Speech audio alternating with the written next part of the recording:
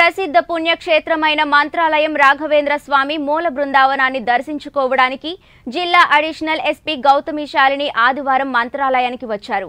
స్థానిక సిఐ కృష్ణయ్య మఠం అధికారులు ఆమెకు మఠం సాంప్రదాయం ప్రకారం స్వాగతం పలికారు.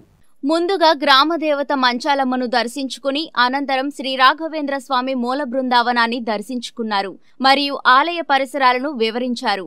అనంతరం శ్రీ శ్రీ శ్రీ సుభతీంద్ర తీర్థులు ఆశీర్వచనం చేసి శేషవస్త్రము ఫలమంత్రాక్షితులు పరిమళ ప్రసాదము ఇచ్చి ఆశీర్వదించారు. వీరితో పాటు ఆలయ సిబ్బంది పిఆర్ఓ ఐపి నరసింహస్వామి మరియు మంత్రాలయం సిఐ కృష్ణయ్య తదితరులు పాల్గొన్నారు.